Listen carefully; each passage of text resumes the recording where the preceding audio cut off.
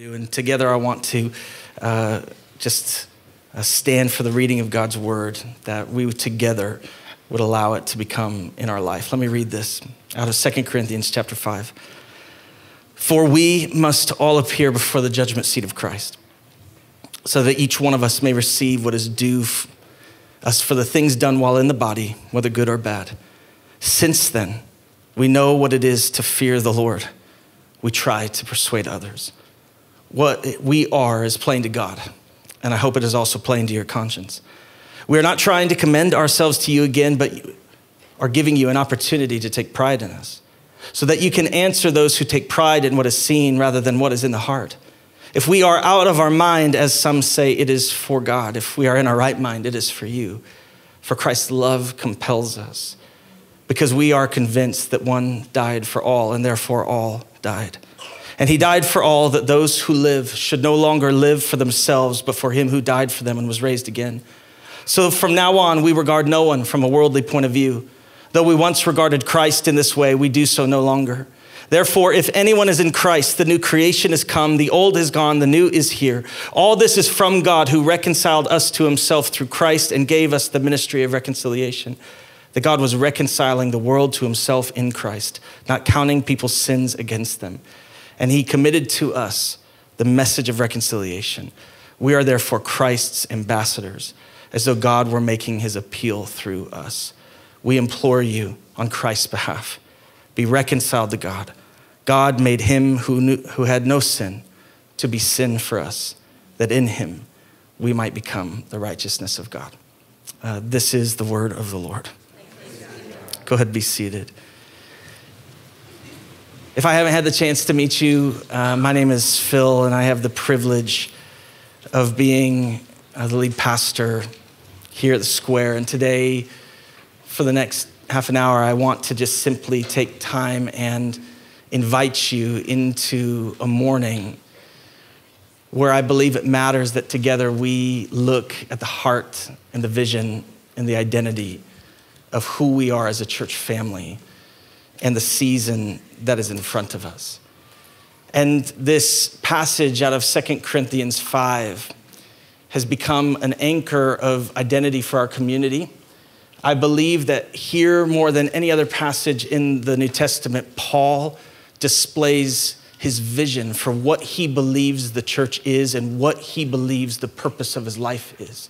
And as he speaks to the deep aches of his heart, he puts on display an identity an identity that I believe you and I are being called to find ourselves in and being called to follow.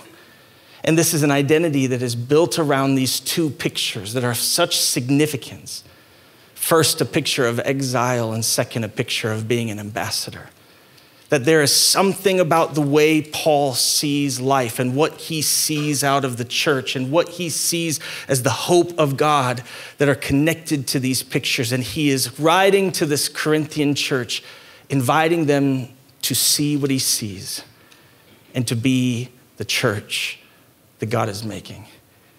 And I believe it's in this picture that God is inviting us to understand the church that he is making us into. And I want to begin today by quoting a, a profound theologian you might have heard of. His name is uh, Mike Tyson.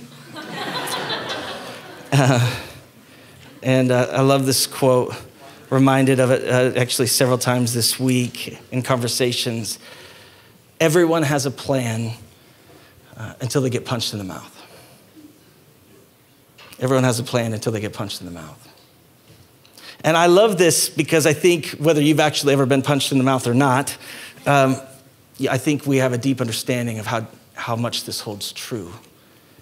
That, that you and I, as we step into seasons, as we make plans and course direction and, and, and become people who move towards what we believe our lives are about, we find that we can have the best intentions, we can long for the greatest things, but ultimately, moments come like a punch in the mouth, and how easy it is to allow that to sway us to the left or the right.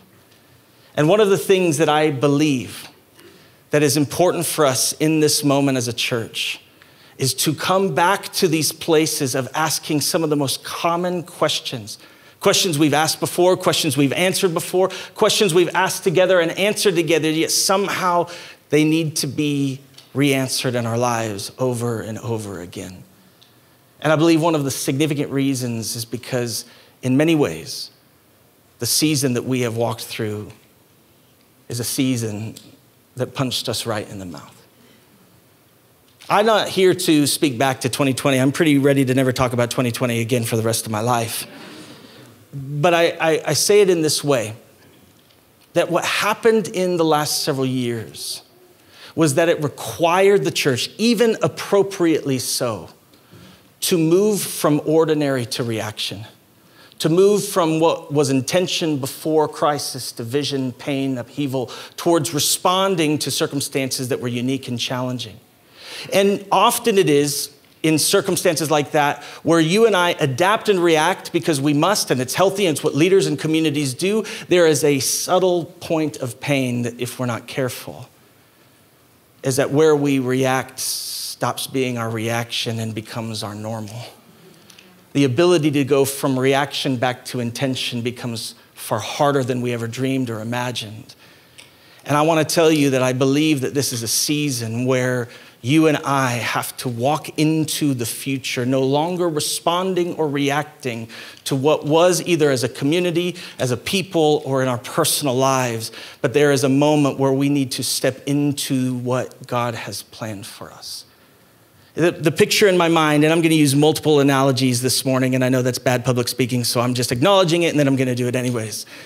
Is that, you know, anyone who's played sports or follows sports, and the vast majority of us understand this, that, that when you are in a position where you need to move, where you need to respond, the worst posture you can be in is being on your heels because your ability to lead, your ability to respond, your ability to go where you've been called to go actually becomes deeply minimized. And in so many ways, this is the picture of what I have seen happen in the church, happen in our church, happen in our lives, happen in people's lives, is that the consequences of challenge over the last several years have moved people onto their heels.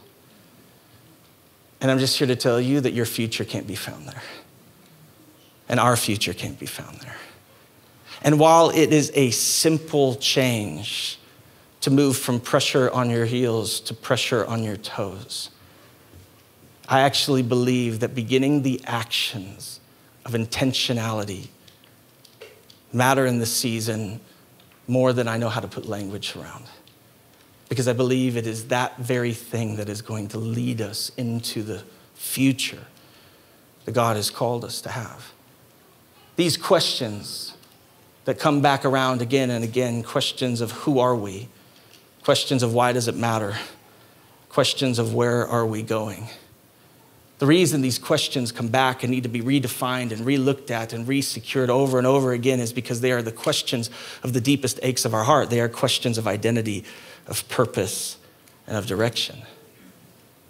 You were never meant to live void of these things. And the power and the significance of them is that they all speak to each other. If you do not know who you are, you will not know why you're alive. And if you do not know why you're alive, you will not know what to give your life to and where to do it. Identity was the only thing that can clarify purpose, and purpose is the only thing that can clarify direction. And it is a season where what God wants to do is to reclaim a place in us personally and communally of restoring the very identity, purpose, and direction that we carry. And this is why we as a people must constantly keep identity at the very center of our focus. I love this quote by Tim Keller, a profound pastor theologian out of New York who's influenced so many. He says this that the Bible says that our real problem is that every one of us is building our identity on something besides Jesus. I wonder in this last season where you're on your heels and where identity is drifted. I wonder for us where we have become on our heels, where our identity has drifted, because, my friends, the minute identity drifts, so does purpose and so does direction. And I believe this is a moment where God wants to restore who we are and who we've been called to be. And the picture that Paul puts in front of us in 2 Corinthians 5, this picture of exile ambassador, this unique mixture of two worlds we wouldn't expect to go together, is actually a picture of the future of the heart of our church and the core identity that we carry. But it's not a picture that Paul creates, it's a picture that Paul understands because it's the story that God has been writing since the beginning. God has created his people, though exiles, to be ambassadors. He has called us, though we live in one place, we belong to another. But where we live, we actually have a purpose the purpose of expanding the beauty and the nature of the kingdom of God.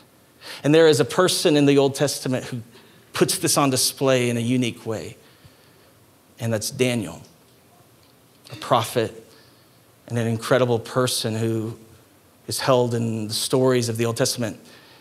There maybe is no one outside of the person of Jesus in the scriptures that is as pure hearted as the person of Daniel. Daniel is a shorter book. We don't have all of the details of his life, but everything we see of him, he is a man who lived in this way of a compelling nature. In many ways, you look to him and you see a heart of purity, you see a heart of honor, you see a heart of faithfulness, you see a heart that is held with radical trust in Jesus, yet in radical love for those he lives around. Daniel lives at an important moment in the story of Israel when Babylon comes and destroys Jerusalem and the people of Judah are sent into exile. At 18 years old, Daniel is taken from Jerusalem and into captivity, and he lives the rest of his life in Babylon. That this story of Daniel's life is actually an invitation to the story of the lives that you and I have been called to live. There's a lot of incredible moments. If you've ever read the book of Daniel, or you know, if you grew up in church, I guarantee that you, you heard some of the stories of the book of Daniel. Daniel, who's taken into the king's court, has all of these things change about his nature, right? He's renamed, he lives among a different people, he dresses different, his job's different, his location is different. But yet at the same time, there's such an established identity in him that he knows the places that will not change, that he refuses to change, or he keeps faithful to the law and the dietary restrictions, and yet God blesses him in the midst of it. It's also the stories of Daniel's three friends who refused to bow to King Nebuchadnezzar and refused to worship anyone but God alone, thrown into the fire, but in the fire is a fourth man who rescues and redeems. And it's here that there is a radical movement within Babylon itself of recognizing the power and the significance of Yahweh. And in Daniel's life, he is a prophet who grows in faith and leadership. The kings that he's around, he serves six different kings in his life. Begin to learn to trust Daniel with great conviction Daniel is faithful. Daniel is honest. Daniel is blessed. Daniel stewards what's been put in front of him. And of course, there's a moment, though, where great jealousy occurs within the other leaders and ambassadors around Daniel. His favor has grown so much, it says that the king wants to actually place the entire kingdom in his charge. But because there's jealousy, a plan is devised to bring Daniel down. They come to the king, and in this moment, they say to the king that you're great. How, how, many times do the traps in our lives begin with the flattering of your ego? We should always just be aware of that. And as they're proclaiming his greatness, they come up with an idea that the people would know his greatness, that for 30 days nobody would be allowed to worship anybody but this king. And the king thinks to himself, that sounds like a great idea. That's, that's, don't ever think that. That's not a great idea. But to him, it was a great idea. The problem was that he loved Daniel. And he knew Daniel worshiped Yahweh. He just was too arrogant and powerful to see the circumstances of what his own decisions would mean. In his culture, once a king made a decree, it could not be undone. So, under this plan, he declares this truth no one is allowed to worship anyone but the king for the next 31 days, and anyone who does so will be put to death. And it's here we find ourselves in a moment in Daniel chapter 6 that I actually think speaks to something so significant about who we are. Daniel chapter 6 picks up the story, and this is what it says. Now, when Daniel learned that the decree had been published, he went home to his upstairs room where the windows opened towards Jerusalem. Three times a day, he got down on his knees and prayed, giving thanks to his God, just as he had done before. Then these men went as a group and found Daniel praying and asking God for help. Just a little bit of context Daniel chapter 6. Uh, Daniel's 85 years old at this point. 18 years old when he's taken captive into Babylon, faithfully served 67 years. And we see a moment where, to put it extremely lightly, Daniel's plan takes a punch in the face. What was happening suddenly has radical interruption. A decree restricting the very thing Daniel has done three times a day for 67 years will now cost him his life. But you can't miss the beauty of it without hesitation, Daniel's first response is to go to his upper room where the windows open towards Jerusalem and to pray. To pray. And it seems so small. Yet I'm telling you, what seems so small speaks of the greatest things. Because in this moment, what is actually being put on display is a man who has come to terms with his identity. He has come to terms with his purpose, and he has come to terms with his direction.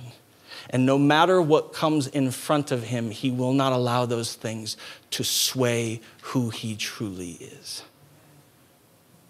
It's a picture of somebody who knows what it means to be an exile, yet an ambassador.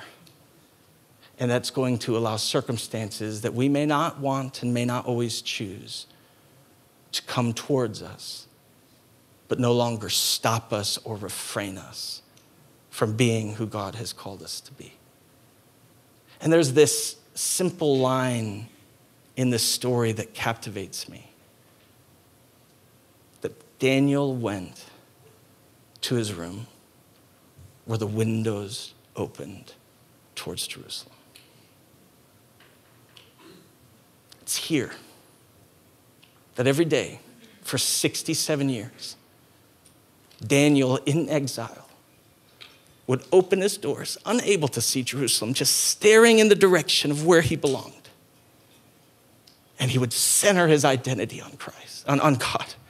He would center his identity on who he knew he was. He would center his idea on the faithfulness of Yahweh. He knew that even though the presence of God used to exist over there in the nature of the temple before it was destroyed by the very people he now belonged to that that direction that was being pointed was a statement of what was true in the world and what was true about him. And for 67 years he opened his windows towards not simply a location but he opened his windows to the promises of god that moved in his life, no matter whether he was home or in Babylon, no matter whether he was in victory or in exile, because opening his windows to Jerusalem was a statement of an identity that nothing could shake. And see what happens when you and I get into difficult situations? We do not do what Daniel does, we look for ways out. But let me just tell you, this is the beauty. Daniel did not open his windows longing for an escape route from Babylon. Daniel opened his windows to get understanding about his purpose of being in Babylon. And when you have your heart set and your window open towards the true reality of the world and the true king of the world and the true hope of the world, what it becomes is not the plan of how you escape your circumstances, but the anchor of hope of who you've been called to be in the midst of them. It's a picture of identity and purpose and direction. The men find Daniel. He's taken to the king. The king is aggrieved. He loves Daniel. This is not what he wanted. And of course, Daniel famously is thrown into a den of lions. The night comes and goes. The king, so afraid, comes in the morning, but Daniel's unharmed. And this miraculous moment actually leads to the very situations We're now under the next king who comes, King Cyrus. The people of Israel begin to be sent back home and allowed to restore Jerusalem, its walls, and its temple. Think about the power of one man who opened his windows towards Jerusalem and how he partnered with the dreams of God for the plans and the purposes of his people. I wonder is our window open to Jerusalem?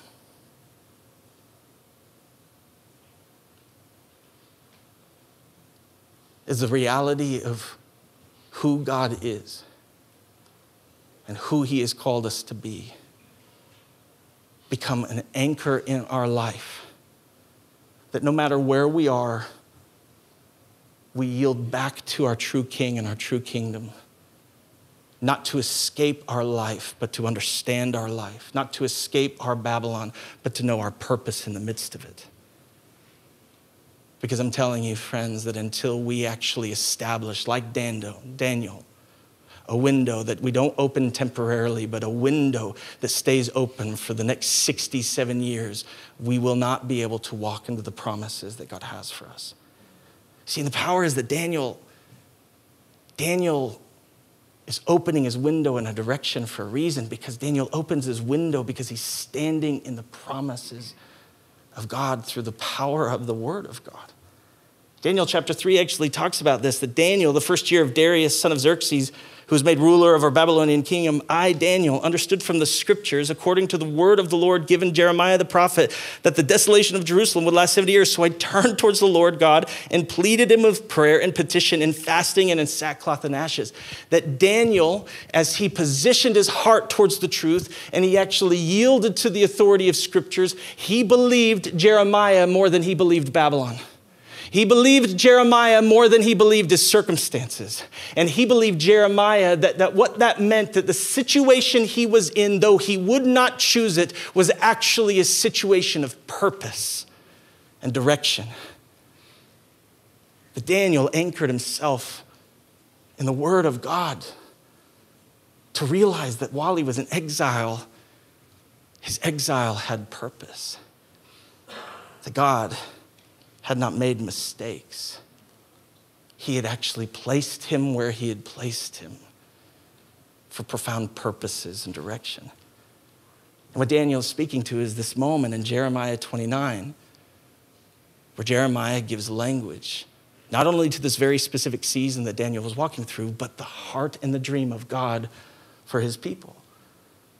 In Jeremiah 29, one of the most famous lines that people know from the scriptures about a God who has a plan, not for harm, but for good. But this picture is a picture of an identity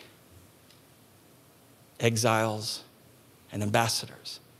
Let me read Jeremiah's words to you that Daniel anchored his life in. This is what Jeremiah 29 says This is what the Lord Almighty, the God of Israel, says to all that I have carried into exile from Jerusalem into Babylon build houses and settle down plant gardens and eat what they produce. Marry and have sons and daughters. Find wives and your sons and give your daughters in marriage so that they too may have sons and daughters. Increase in number there and do not decrease. Also, seek the peace and the prosperity of the city to which I have carried you into exile. Pray to the Lord for it, because if it prospers, you too will prosper. Yes, this is what the Lord Almighty, the God of Israel, says Do not let the prophets and diviners among you deceive you. Do not listen to the dreams you encourage them to have. They are prophesying lies to you in my name. I have not sent them, declares the Lord.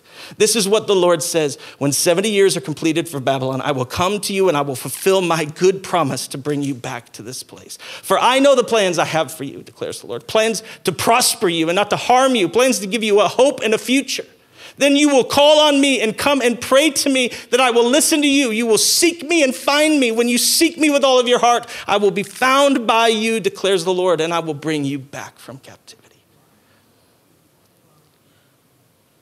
For 67 years, Daniel anchored his identity in the promises of God and the purposes of who he truly was and why he was truly alive which meant the minute a death sentence was placed on prayer, the only move Daniel had was prayer.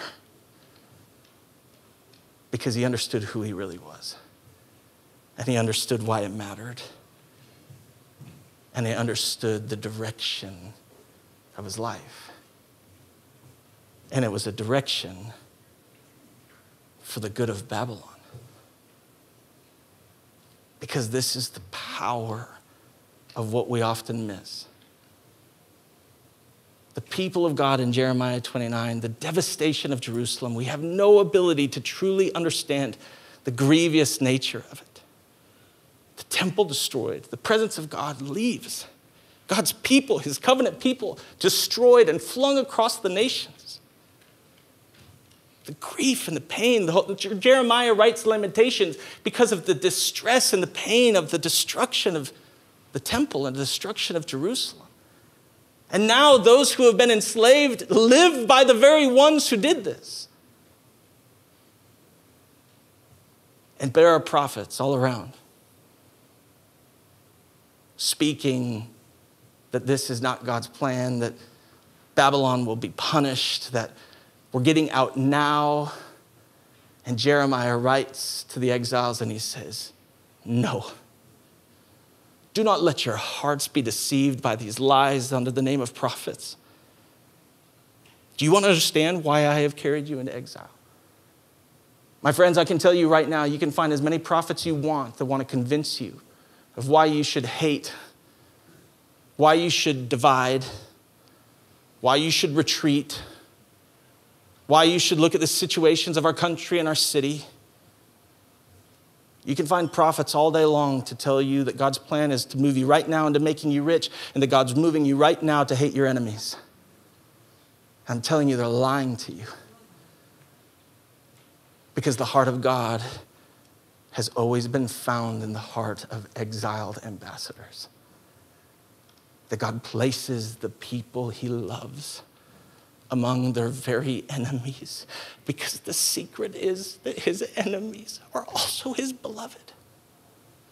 And this is what Daniel sees that everyone else refuses to. The Babylon is a place that God wants to restore and redeem. It's not just simply a place to escape from. I wonder if we see what God sees. But I'm telling you, Daniel could see it because three times a day he opened his window to Jerusalem. And he anchored himself in the plans and the promises of Yahweh. That for all Babylon had done, God had a plan. A God of futures and of hopes a God of restoration and of peace, a God who would invite Daniel, a slave, to seek the prosperity of the city that enslaved him because it captures somehow that does not make sense in our humanity the foolishness of the love of God. That we've been placed in our own Babylon just as intentionally and just as on purpose. And this is the heart of what Paul's saying in 2 Corinthians 5. It's this very identity that Paul is speaking to. This is when he says, So from now on, we regard no one from a worldly point of view, though we once regarded Christ in this way. He's saying there is a different way to see being alive once you've come into Christ. My question is Do you see you the way God sees you? And do you see Atlanta the way God sees Atlanta? Because until we get in God's viewpoint of the situations around us, we are constantly going to be listening to the very whispers of our heart that will deceive us and not the invitations of the radical way of Jesus for the transformation of a city in the midst of all that's happening around us. He says, therefore, if anyone is in Christ, the new creation has come, the old is gone, the new is here. All of this is from God who reconciled us to himself through Christ and gave us the ministry of reconciliation, that God was reconciling the world to himself in Christ, not counting people's sins against them, and he has committed to us the message of reconciliation. We are therefore Christ's ambassadors, as though God were making his appeal through us. See, it's right here in this picture that we see the invitation of identity, of purpose, and direction. Because until you set your eyes, until you open your window on your true home, you will default one of two places. You will either become like Babylon or you will despise Babylon. And I'm here to tell you do not do either.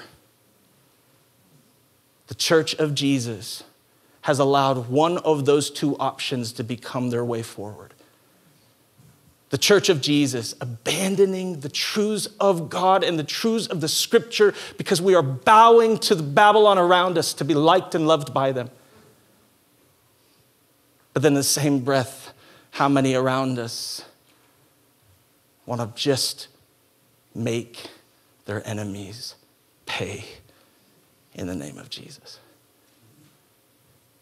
See, it is why we have to understand this picture to know who we are, because it is only exiles who are ambassadors that understand why you have been placed in a Babylon, not to become like it, but to lay down your life for it. And it speaks to the reason the church even exists. And again, I just remind you if you don't know who you are, you won't know why you're alive. And if you don't know why you're alive, you won't know what to give your life for and where you have been called to give it.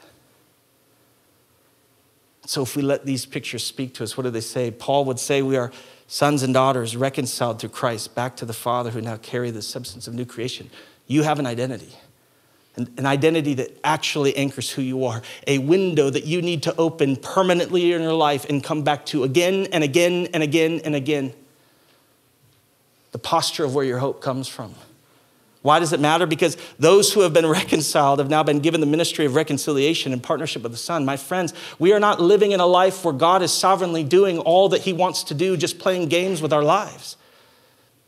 I believe in a sovereign God, make no question about it, but God in His sovereignty has invited His people to participate in the movement of His kingdom, and our lives actually have eternal consequences.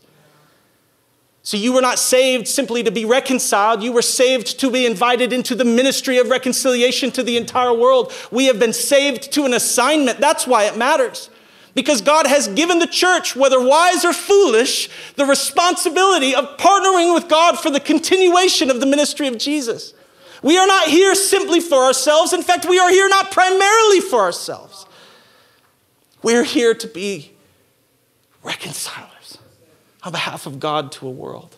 Where are we going? We are going where ambassadors go into foreign kingdoms, taking the kingdom that they belong to and expanding the rule and reign of Jesus to the very place we live and the people we live among.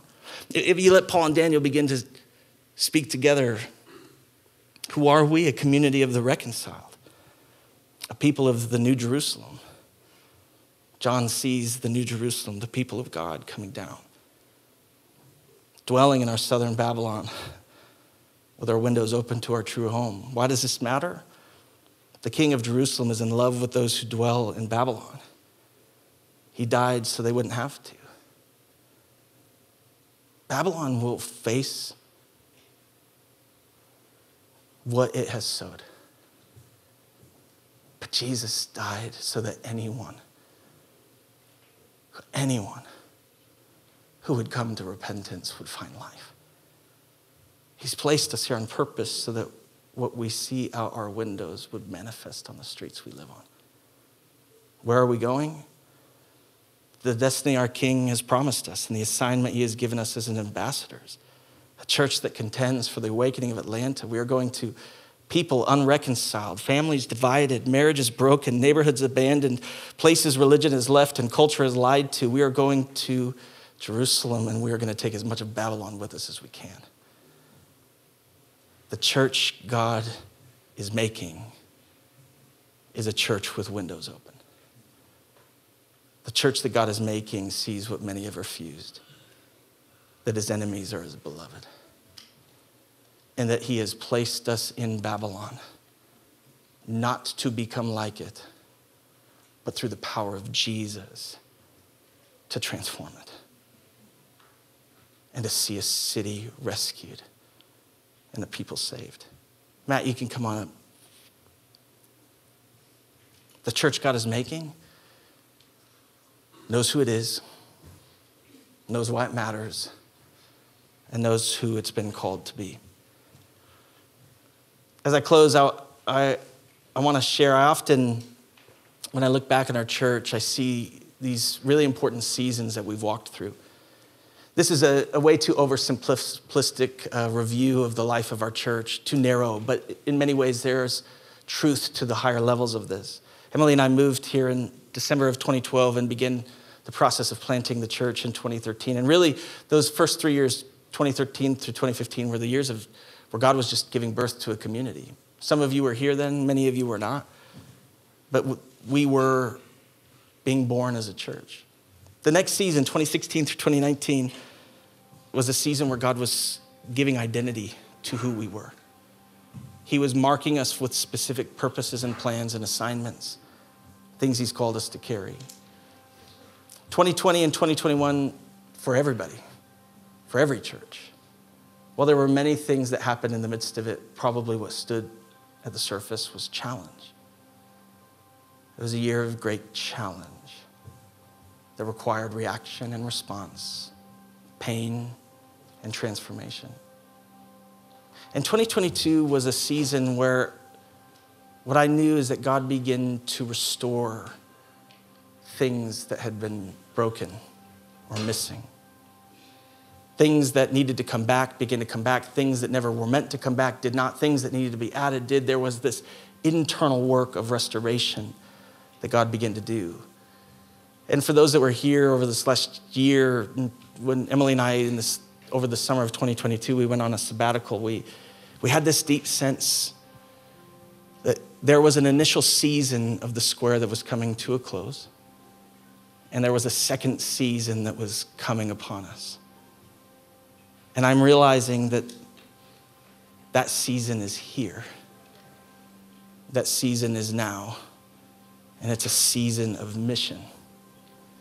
And, you know, anybody who grew up mowing the, their own lawn with a gas mower, you know, whether it's the first time of the year or it's been a little while, and especially if you have an old one, and you yank that cord, right? And nothing. And so you do it four or five times, and then you check the gas and you check the oil, and you pump that button too many times, and then it floods it, and you know, all those things that happen. And about 10 minutes later, the lawnmower hasn't started, right? But there's that point where you realize you're, you're beginning to move the engine, you're getting to get power. And there's that final point where you crank something and it begins to move and it begins to go into motion. I believe that is a picture of the season that we are in. We are not going to move from one season to the next simply by chance or by simply the fact that it is what it is. I believe we are going to move into the next season because we grab down and take hold of the promises of God and the truth of what He has called us to do. And we begin to pull and to pull and to pull until something steps in and something wakes up and something comes alive that we then walk into the plans and the promises of God for us. It's a season of ownership for the mission that God has called us to have. And let me just remind you whether it's been a while or maybe it's the first time that you've heard why we're alive. Friends, seasons where you get punched in the mouth will make you forget why you're alive. You have distinct purposes in your life. We, together as a community, have distinct purposes, and we are never meant to live alone. Our purposes were always meant to blend together. Let me just remind you about why God decided in 2013 to start a church. Square is called to be a house of prodigals, where those who are confused or uncertain can find hope and healing. The Square is called to be a people of grace who love like Jesus and become on mission together in the midst of a broken and hurting world. The Square is called to embody an example, faithful allegiance to Jesus in a secular age. The square is called to put courage in the heart of the church and to be witnesses of Jesus and his gospel. The square is called to restore biblical literacy and spiritual formation in the life of believers. The square is called to live lives of first love for Jesus marked by sincerity and grace. The square is called to encounter the presence of God and to walk in the power of the Holy Spirit and to see his gifts and his authority and his healing come in our city. The square is called to love the suffering and to bring acts of justice and compassion for the marginalized. The square is called to create a church for our children who will be empowered to walk into a new world as beloved sons and daughters who know who they are in Christ. The square is called to resource the entire body of Christ by going first into the pain and the tension of our day and creating pathways of transformation for all who need help. The square is called to raise up missionaries and church planters who will take the gospel to our city, to our nation, and to our world. The square is called to contend for a spiritual awakening in our day. And I think it were believed begs the question how could we possibly see all this? And I'm just reminded about the power of one man who opened his window to Jerusalem. I wonder what an entire community could do. I actually think if our entire church, how many ever that is, all opened our windows to the true king and the true kingdom, and begin to take steps towards taking ownership of the mission He's called us to have. I think this is too little, not too much. And just in this, let me tell you some direct next steps of what I believe this means for us. The first, which is kind of a big announcement, though first service didn't treat it like that. Probably it would just set too serious of a tone is that we just know it's time for us to secure our home. And in this season, I want you to know that we believe that isn't actually going to be found in a moving away, but in actually pursuing a major rebuild and remodel of our own property, which is significant. And I'm not hearing this morning, here this morning to, to talk about that in great detail. I just want you to know that is we have to make room for what God wants to do. And I have a little picture here. You have that up, Skylar, I think maybe, of just understanding kind of what we're looking to do. The back part is that parking lot. I, again, I just want you to know we have things in motion that we are going to take time and talk through as a church family about that. You can go back to that other slide. But it's not just that we need to secure our home. Uh, there's some things that have real importance of this season.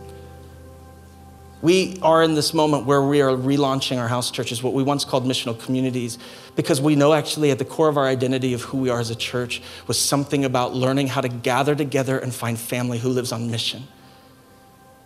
And it's time to put a re emphasis back on that part of who we are, to reclaim that central sense of identity, to discover family and mission through our house churches. This year, we're going to relaunch our men's ministry. We just know it's time that what, where we've created space for women, I know it's in Pastor Emily's heart to even do more, but that we would begin to take intentional steps of gatherings, discipleships, and retreats for our men. We are intentionally creating and reinforcing pathways of belonging and discipleship. We're launching what we call foundations which are classes meant to understand the nature of who God is and who we are as a church and how to flourish in the midst of it. Launching activation mini courses where the very invitations of the way of Jesus, how to love like Jesus, how to pray like Jesus, how to walk in the power of the Spirit like Jesus become places where we can not only learn but grow into what God has for us. And of course, the continuation of where God has placed an authority on our world around the scriptures, our school of biblical studies, integrating that deeper into our church, and where God is taking the school of the New Testament. You may not know this, but we've helped launch several schools of the New Testament in other churches, and I believe that there is actually a nature of this that is meant to be in thousands of churches that you and I are called to be a part of.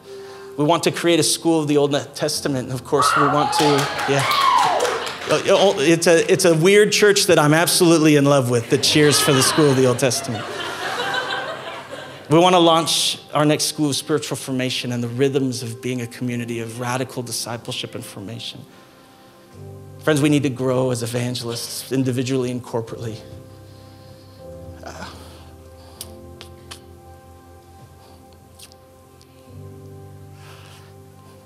I'm God wants to restore hearts that break for the lost. Gosh. We are going to relaunch global missions.